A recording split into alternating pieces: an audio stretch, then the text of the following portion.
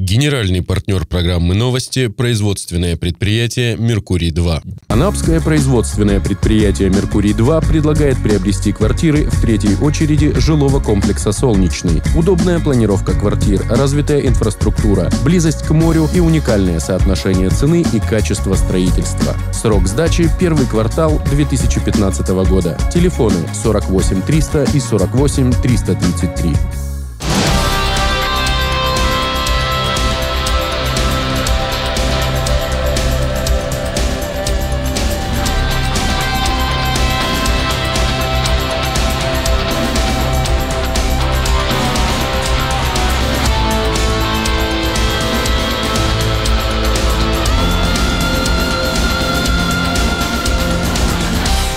Здравствуйте! В эфире программа «Итоги недели» в студии Ирина Меркурьева. Чем запомнились анапчанам и гостям курорта минувшие семь дней и как эти события повлияли на жизнь города-курорта, расскажем в итоговом выпуске новостей за неделю.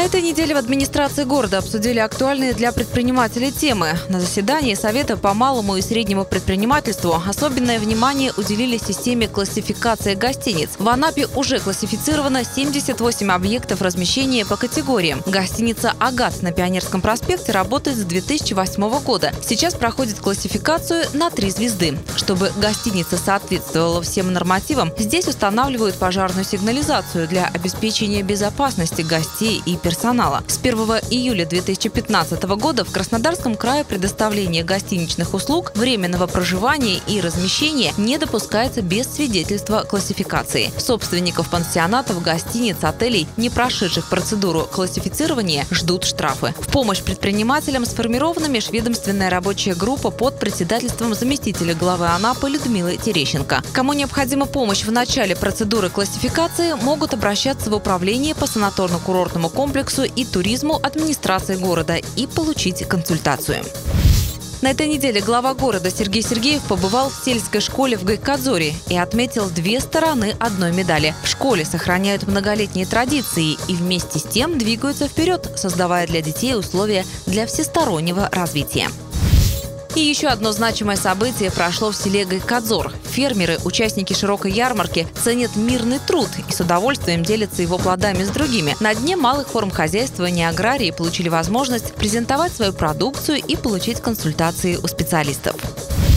В минувшую субботу в Доме культуры молодежной прошел первый день здоровья в осенней серии. Дни здоровья пользуются большой популярностью среди населения, поскольку именно здесь все посетители имеют возможность быстро пройти экспресс-обследование и без очередей, сделать необходимые анализы и получить заключение специалистов. Цикл профилактических дней здоровья пройдет осенью во всех сельских округах.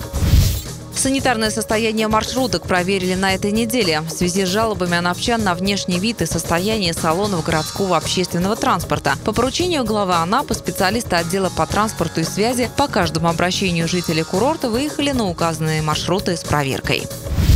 И еще одна проверка городского транспорта на этой неделе. Специалисты отработали заявки и жалобы анапчан. Комиссия провела проверку в 7 часов утра в Алексеевке по маршрутам номер 17 и 2. Выявлены нарушения в интервале движения и несоответствие с расписанием. Руководителям предприятий, обслуживающих эти маршруты, выписаны предписания.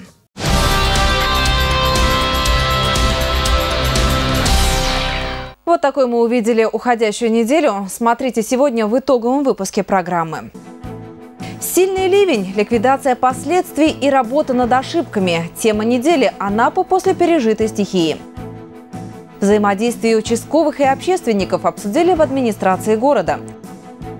Герои нашего времени – дети и молодежь, проявившие себя в отважных поступках и награжденные нагрудными знаками «Горячее сердце». Сейчас обо всем подробнее. Минувшие выходные отметились в Анапе непогодой и сильным ливнем. Даже старожилы не помнят такого мощного ливневого паводка. Основной удар стихии приняли на себя город Субсех и станица Анапская. За час небольшим выпала четырехмесячная норма осадков. Сегодня следов от стихии почти не осталось. Дороги высохли, улицы в порядке. Проведена большая работа.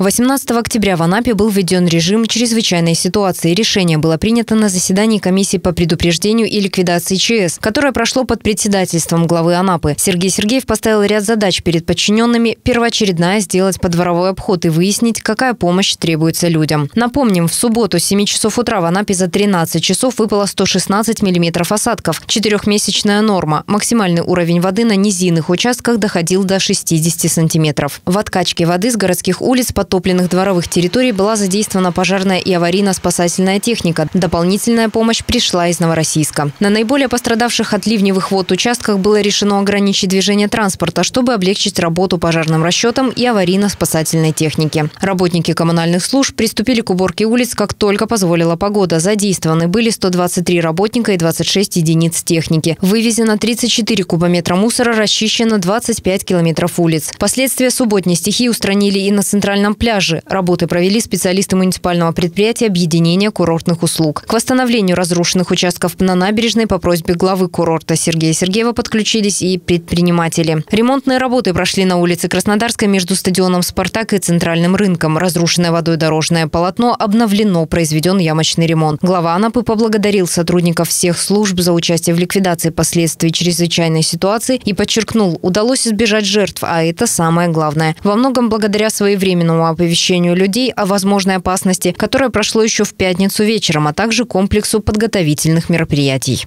И в продолжении темы недели. Городские службы оперативно устраняют последствия стихии. В пострадавших от ливня многоэтажках проводят ремонтные работы. Подробности далее.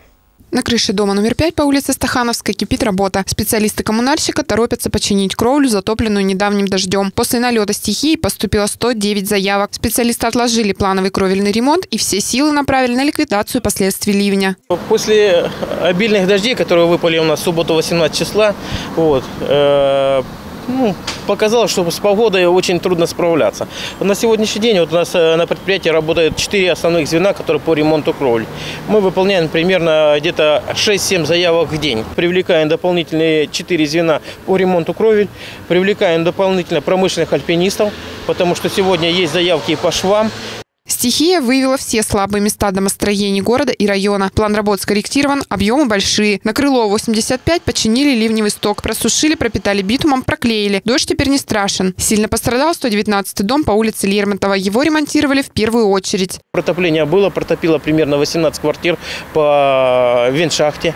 Почему протопило? Потому что пошло переполнение ливневки, потому что ливневка не, э, не справлялась с таким количеством дождя, потому что э, запроектированная ливневка как бы в простой дождь дождь, среднестатистический, будем говорить, она справляется нормально, никаких проблем нету. С квартирами, да, выходим, составляем акты, будем, конечно, помогать. Вместе с тем продолжается плановый ремонт подъездов. Косметический лоск завершают в третьем подъезде дома номер 103 по улице Ивана Голубца. Стены прошпаклеваны, пропитаны спецсоставом, покрыты водоэмульсионной краской. Последние штрихи – окраска панелей. Можно вешать почтовые ящики и писать письма друзьям о том, что город оправился после стихийного вмешательства. 24 и 25 октября местами в крае ожидается усиление ветра до 20 метров в секунду, местами до 25 метров в секунду. Обращаясь к жителям и гостям курорта, Управление гражданской обороны и защиты населения предупреждает, будьте осторожны при передвижении на частном транспорте, усильте контроль за детьми и пожилыми людьми. Рекомендуется закрыть окна, двери балконов и лоджий, убрать с незастекленных балконов незакрепленные предметы. Руководителям предприятий и организаций принять меры по недопущению происшествий и чрезвычайных ситуаций. Продолжаем выпуск. В администрации состоялось расширенное заседание Координационного совета по территориальному общественному самоуправлению при главе города-курорта. На повестке дня взаимодействие органов ТОС с сотрудниками отдела управления Федеральной миграционной службы, участковыми уполномоченными и профилактика наркомании в Анапе. С докладом о правилах регистрации граждан Российской Федерации на территории России по месту жительства и по месту пребывания выступила специалист миграционной службы Светлана Пелина. Общественники задали докладчику несколько вопросов. Координатор ТОС Субсехского сельского округа Наталья Маслова озвучила желание многих сельчан. Ждут, что в Субсехе вновь начнет работать паспортист. Начальник отделения участковых уполномоченных полиции Андрей Светенко рассказал о работе отдела с начала года и о взаимодействии с органами ТОС. Некоторые председатели квартальных комитетов пожаловались на недостаточное сотрудничество сотрудничества со стороны участковых. В ходе оживленной дискуссии было решено провести отдельную встречу участковых и общественников. Вопрос злободневный, как бы. Есть где хорошо работают участковые, есть где не очень, есть где есть пункты. Это все как бы результаты, я так понимаю, реформы. Ну, сокращения и всего остального. Конечно, людей не хватает. На летний сезон нам приданные силы дают, но это только летний сезон. Хотелось бы, конечно, чтобы службы работали круглогодично. Старший дознаватель отдела по городу Анапа Федеральной службы по контролю за оборотом наркотиков Наталья Морозова доложила, с начала года отделом с целью снижения уровня наркомании проводился комплекс профилактических мероприятий. В результате проведенных операций МАК совместно с администрацией сельских округов в 2014 году выявили три участка дикорастущей конопли в районе поселка Уташ, старого русла реки Кубань и на территории Первомайского сельского округа. Огнем уничтожено 3605 кустов наркотического растения весом 77 килограмм. Хотелось бы, мне тем не менее, отметить существенную активную роль в борьбе с незаконным оборотом наркотиков, и также медицинское потребление наркотических средств, которые вносят руководители многих ТОС, общественники города, активисты районов города и советы общественности, сельских округах. Только совместная профилактическая работа, направленная на снижение уровня наркомании, поможет справиться с общей проблемой. В завершении встречи заместитель главы Олег Костенко поблагодарил общественников за их активную и ответственную работу. Бой пьянству на дорогах 24 октября с 8 до 13 часов на территории обслуживания роты ДПС прошло рейдовое мероприятие под условным названием «Нетрезвый водитель». Инспекторы призвали всех автовладельцев обеспечить безопасность движения на дорогах. Группы по 3-4 инспектора роты ДПС останавливали машины и беседовали с водителями. При этом оценивали их состояние, не доходится ли те в алкогольном опьянении или под действием наркотиков. С начала этого года 557 автовладельцев сели за руль под шофе. Поводом для таких масштабных проверок стал анализ статистики. По вине пьяных водителей в этом году произошло 5 аварий. Два человека погибло, трое получили травмы. В ДПС Анапе операция «Нетрезвый водитель». Вдруг вы не употребляли спиртное? Я думаю, не употребляли. Вдруг вы будете увидите такого человека, который будет... Ну, позвоните, пожалуйста, на наш телефон, вот номер телефона. Хорошо? Удачи вам. Признаки, указывающие на то, что за рулем автомобиля нетрезвый водитель, хорошо известны опытным инспекторам. Даже если выпивший автомобилист старается ехать аккуратно, его все равно выдают характерные особенности вождения. Сотрудники полиции предпринимают дополнительные меры по предупреждению данного вида ДТП, проводят разъяснительную работу с водителями маршрутного транспорта, такси, работниками частных охранных предприятий, обслуживающим персоналом АЗС, кафе и магазинов, расположенных непосредственно на дорогах или рядом с ними, и призывают к сотрудничеству анапчан. Увидели нарушения, сообщения Сообщите об этом дежурные части подразделений полиции. Управление автомобилем в состоянии алкогольного опьянения – грубое правонарушение, за которое лишает водительских прав от полутора до двух лет. Кроме того, отказ водителя от прохождения медицинского освидетельствования также предусматривает лишение прав на тот же срок. Если нетрезвый водитель не имеет или уже лишен водительских прав и отказывается от прохождения этой процедуры, ему грозит административный арест сроком до 15 суток. Личный состав дорожно-патрульной службы убедительно просит всех граждан сообщать в роту ДПС о нарушениях по телефону телефону 33002. Информация о нарушителях правил дорожного движения и пьяных водителях может спасти не одну жизнь. День неравнодушия провели в детском центре «Смена». Герои нашего времени, дети и молодежь, проявившие себя в отважных поступках и награжденные нагрудными знаками «Горячее сердце». Некоторым героям 11-12 лет, а на счету у этих детей спасенные жизни. Достойные предков героев войны, ребята специальной смены проявили героизм в мирное время и спасли несколько сотен жизней. До начала тематического ток-шоу «Герои нашего времени» рассмотрели оружие героев Великой Отечественной войны. Пулемет «Максим» – самый популярный герой фильмов о войне 600 выстрелов в минуту с дальностью стрельбы до 2 километров. Самым интересным экспонатом Алексей Ершок, специалист Кубань-Патриот-центра, назвал личные вещи солдат. И среди них медальон смерти. Это капсула, в которой солдаты хранили сведения о себе и семье. На веревочке носили на шее. В другом случае, а, даже сейчас а, в некоторых формах нашей советской армии вот здесь вот, вот здесь вот делается дополнительный кармашек. И вот здесь вот он носился. И если со станками найдена вот такая вот ложка, и если есть фамилия, это практически а, возвращение из небытия данного солдата. Потому что этого солдата мы, во-первых, можем похоронить со всеми воинскими религиозными почестями. И в конечном итоге на обелиске э, напечатать его фамилию элементарно, чтобы существовал такой человек, что он погиб за нашу родину, дал все, что мог, включая жизнь. Спустя несколько часов Алексей дал другой ответ. Одна девушка спросила, а какая здесь вещь самая дорогая? Я сказал, что порядных военнослужащих. Я сейчас посидел, подумал, и все-таки я, наверное, соврал. Самое дорогое, самое дорогое при работе поисковиков – это останки наших воинов. Этому герою мирного времени 21 год. В ноябре прошлого года Михаил Анфалов спас девочку от нападения маньяка в подъезде пятиэтажки. Открыв дверь, я увидел маленькую девочку в луже крови, и на ней сидел очень большой мужчина и бил ее кулаком сверху. Ну, я, конечно, сразу же начал действовать. Вспоминая историю прошлого года, Михаил сжимает кулаки. Повторись история, поступил бы так же. Я начал с ним бороться, драться и всему тому подобное. В итоге так получилось. Драться пришлось с боксером более двух метров ростом. Силы были явно неравные. Желание спасти девочку ослепило. Горячее сердце 11-летнего Артема Воронина в морозную зиму откликнулось на беду. Спас бабушку, вытащил из колодца. Это был в крещенские морозы. Мы шли из школы. Но мы не растерялись, побежали сразу к колодцу. Бросили сумки и стали вытаскивать бабушку. Как она говорит, она перед крещением всегда набирает воду. Нахнулась так, стала набирать.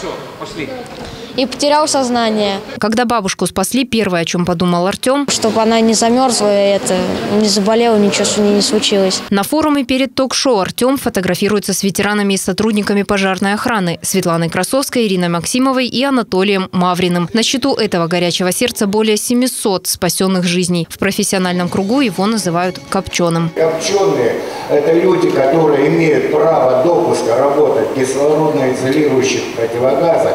Именно вот в таком дыму создать условия для тех людей, для тех солдат, которые не имеют э, защитных средств. 26 лет Анатолий жил в Грозном в самое горячее время. Спасал людей в условиях войны. Пережил обстрел снайпера. Тот знал, куда целился. Стрелял по рукам пожарного. После нескольких операций функции правой руки восстановили частично. Сам Анатолий называет руку специальной. Удобно за талию обнимать женщин и приглашать на танец. Он всегда демонстрирует. И он всегда демонстрирует, когда когда у нас проходят, допустим, встречи, вот, и на танец он приглашает, он говорит, это специально, вот такая у меня Такое событие, встречу с молодыми горячими сердцами, пропустить просто не смог. Вот как это маленькое сердечко, да, но мы профессионалы, мы обучены, да, вот, это просто автоматически дети пошли на этот подвиг, можно сказать даже. Это точно подвиг. Я потрясен, что столько много детей очень много детей, вы видели аудиторию, все это, которые награждены вот этим знаком «Горячее сердце». Героев нашего времени награждали несколько раз от администрации городов и регионов, от МЧС. Меня много чем награждали. Сперва администрация подарила грамоту, там что еще, коробку конфет и смартфон новый. Еще администрация города тоже подарила грамоту. Потом МЧС России приезжала по Туле. Угу. Подарили электронную книгу и благодарность. В Москву еще ездили, мне вручили за смелость, проявленные при спасении человека медаль. Каждый маленький герой – обладатель высокой награды, знака отличия – горячее сердце. И случись непредвиденное или кому-то нужна помощь, каждый поступил бы так же, по совести. Так же бы. Если было бы наводнение, помог бы каким-нибудь людям выбраться там, кто в доме, если застрял бы. Добро должно быть с кулака. Конечно. Ну а куда без этого? Бывает, что люди ведь не понимают. Вглядитесь, вот такие они герои нашего времени, достойные памяти предков и поступков старшего поколения. Анапский центр обслуживания населения протягивает руку помощи тем, кто в ней нуждается. Добавляет ярких красок в жизнь людей, нуждающихся в помощи. Название центра изменилось. По функции они выполняют все то же. Самое главное для людей пожилого возраста – это внимание. Иногда требуется просто приехать по-доброму выслушать и помочь. Это одна из задач социальных работников – поддержать граждан, нуждающихся в психологической или юридической, бытовой медицинской помощи. В центре также помогают многим людям, оказавшимся в сложной жизненной ситуации. В деятельность учреждения, в том числе, помимо социально-бытового обслуживания граждан пожилого возраста и инвалидов, входит оказание дополнительных платных услуг жителям нашего города – это и побелка, это и оклеивание обоев, э, это и стрижка, это и покос травы, это и культиви, э, культивирование земли, это и обрезка сухих веток, это обрезка виноградников, это и мытье окон, мытье холодильников и много других услуг оказывает э, наше учреждение. Мало кто знает, но в центре есть еще такая услуга, как приемная семья. Каждый желающий может взять себе на попечение пожилого человека. Суть э, этой работы сводится к тому, что дееспособные взрослые граждане в возрасте до 60 лет могут взять к себе в семью пожилого человека. Плата э, ежемесячно за оказание этой услуги 3000 рублей. Призываем и просим, э, кто нуждается в оказании такого вида помощи и может э, взять себе в семью пожилого человека обращаться в наше учреждение. Помощь людям – ежедневный кропотливый труд. Вот так и работают, стараясь обогреть и защитить самую главную ценность на земле – человеческую жизнь. Победа на краевых соревнованиях для анапских волейболисток стала закономерным результатом. В прошлом году спортсменки были на втором месте. В сентябре этого года они встречались в финале с командой Краснодара и одержали верх. Подробности в сюжете Натальи Змызговой.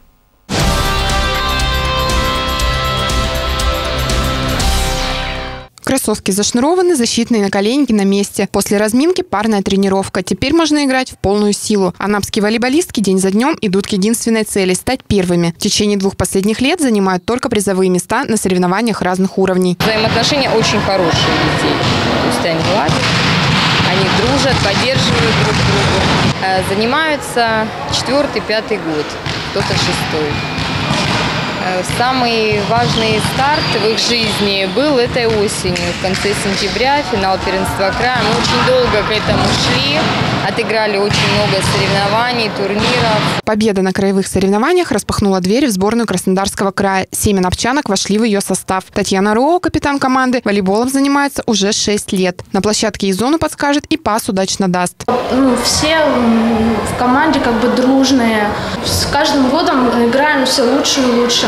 Анна Мовчан решила заняться волейболом в третьем классе. Родители предлагали мне разные виды спорта. Э, баскетбол, ну так как высокая была сразу. Также я ходила на танцы, музыку, рисование. Ну вот как-то везде не очень получалось все. Вот, ну, решили пойти на волейбол. Сейчас она лучший спортсмен года по волейболу. Анна много тренируется. Друзья чаще видят ее фотографию на доске почета, чем саму Анну. Волейбол для нее не только увлечение и спорт. Работа в команде, прежде всего, много друзей, умение подстраиваться под разные характеры, под разных людей, конечно, это дает большой плюс. Впереди первенство России в три этапа. Через две недели анапские звездочки отправятся за новыми медалями. Девчонки рассчитывают на награды. Напоминаем, 30 октября в эфире нашего телеканала глава города-курорта Сергей Сергеев ответит на вопросы анапчан в прямом эфире. Начало 18.30. Предварительные вопросы можно задать по телефону 58657 и прислав письмо на электронную почту. Телефон и адрес на экране. 25 октября в Анапском центре медицинской профилактики в Алексеевке пройдет общегородской день здоровья. На бесплатную консультацию и скрининг обследования приглашают всех желающих. Прием будут вести терапевты, неврологи, эндокринологи, лор, кардиолог, офтальмолог, педиатр, медицинский психолог и социальный педагог. При себе необходимо иметь паспорт и страховой полис. День здоровья пройдет с 9 до 14 часов по адресу Анапа, улица Родниковая, 4Б, Центр медицинской профилактики. И на сегодня это вся информация. Далее прогноз погоды на выходные. В субботу, 25 октября, в Анапе облачно с прояснениями. В первой половине дня возможен дождь. Температура воздуха днем от 3 до 5 градусов тепла, ночью 0-1.